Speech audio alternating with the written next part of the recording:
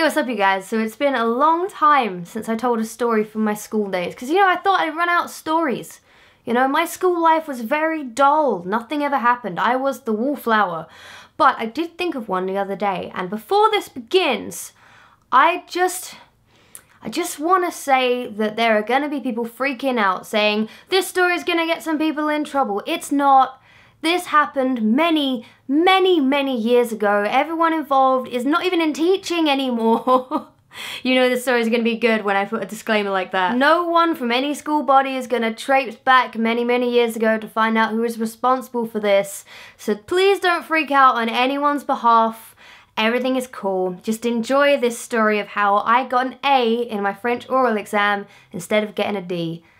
Don't make a D joke, don't make a D joke. Now I just want to start off by saying that I was very, very good at French at school. Like to this day, I can still read French fluently. Um, I can kind of construct sentences, it hasn't been a while. But the one thing I've always been bad at is understanding French when it's being spoken and also speaking in French. And those two things are the things you need to do in your French oral exam. I was pretty much heading for like a straight A at French until my oral exam, which I was very nervous for. You know, whenever I was told I had to speak French, my cheeks would just burn with shame the second I tried to do an accent. You know, I was so bad. Now, for some reason, I was the last person in my year to take the French oral exam. My exam basically consisted of a cassette tape with a recording of my teacher at the time asking me some questions in French and me replying in French. I know that our school was really, really behind in submitting these tapes and I remember every teacher in the French block like sort of panicking and freaking out about it. I don't really think I need to point out the obvious, but I did really fucking bad. As soon as my French teacher started talking in French, I was lost because she was talking so fast and even though I was lip reading I just did not understand a word something about baguettes. I don't fucking know. I just completely choked. I did so bad. I was stuttering. I think at times I just said words in English with a French accent hoping that they were the same thing. I did bad. I done goofed okay? So my French teacher stops the tape at the end and she gives me this look of, oh my god, you've done so fucking badly. What happened? You were my golden child. The head of the French department comes in to check that it's all okay. My French teacher presses the rewind button on the tape recorder and it's not going anywhere. The tape is just not rewinding and I remember my French teacher just looking at it in confusion and then sheer fucking panic. I had just taken my French oral test with no recording, no proof. Doesn't take a genius to work out that's quite the boo-boo. I am at this point a witness that my French department has completely fucked up this module of my exam. My French teacher looks at the head of the French department, the head of the French department looks at me, I'm looking at my French teacher. It's, it's a triangle of looking at each other. It was weird. My French teacher, who was quite obviously panicking quite a lot, goes outside with the head of the French department. And I'm sitting there like,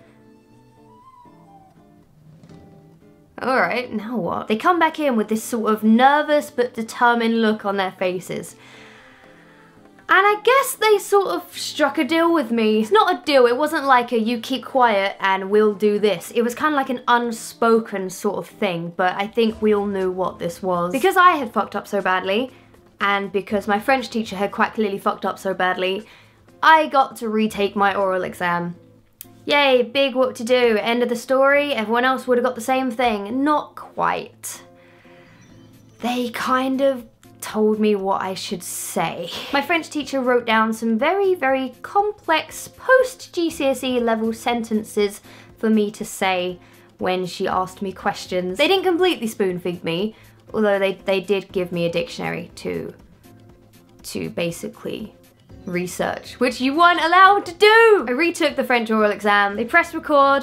My French teacher said some questions. She pointed to certain sentences in front of me. I read them and I got an A. Oh, I feel so bad. I mean, shit happens. And like I said, no one's gonna get in trouble. This was literally like nearly a decade ago. Okay, this is not a big deal now, but at the time, this is like a scandal in my head. I was like, oh my God, I have rigged my GCSEs, bitches! My teacher said that my first take would have been a D, maybe an E. And this one I did pretty fucking good. My overall French GCSE result was a B, so I didn't do too terribly.